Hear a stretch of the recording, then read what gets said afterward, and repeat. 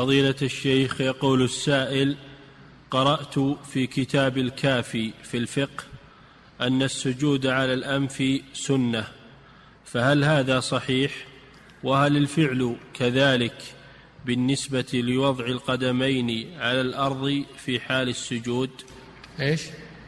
يقول قرأت في كتاب الكافي في الفقه نعم. أن السجود على الأنف سنة نعم. فهل هذا صحيح؟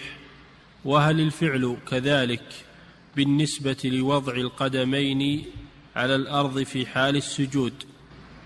نعم. المطلوب السجود على الجبهة وضع الجبهة على الأرض. وأما الأنف فهو تابع تابع للجبهة. لو سجد على الأنف فقط ولم يسجد على جبهته لم تصح سجدته. ولو سجد على الجبهة ولم يسجد على الأنف أجزأت سجدته. أجزأت سجدته. لكن الأكمل أنه يسجد على الجبهة والأنف لأن النبي صلى الله عليه وسلم لما ذكر أعضاء السجود ذكر الجبهة وأشار صلى الله عليه وسلم إلى أنفه. أشار إلى أنفه. نعم.